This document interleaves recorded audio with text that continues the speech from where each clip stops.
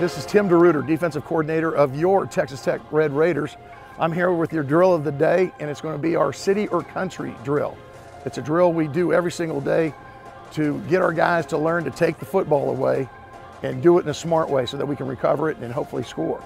Uh, but before we get into the drill, I'd like to introduce some of our safeties and our star, which is one of our hybrid linebacker safety position. Uh, have these guys introduce themselves and where they're from. Go ahead, Chief. Uh, Chief Collins, Lovejoy High School. I'm CJ Baskerville from Richland High School. St. Morris, Prosper High School. James Rondo, Lamar High School. Brendan Jordan, Mitchell High School. Chapman Lewis, Burleson Centennial High School.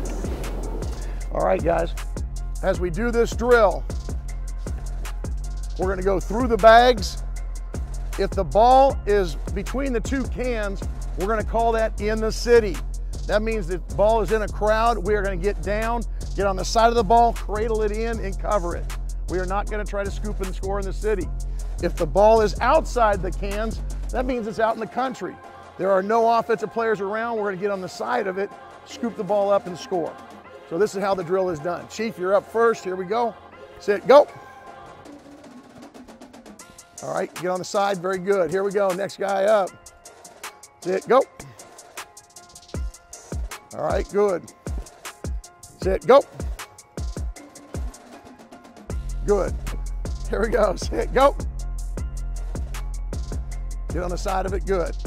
Pull that thing in, cradle it. We don't want to jump on it. Again, that's our city country drill. Uh, it's a drill that simulates taking the football away and how we're going to get it done, whether we're out in the country or in the city. Wreck them.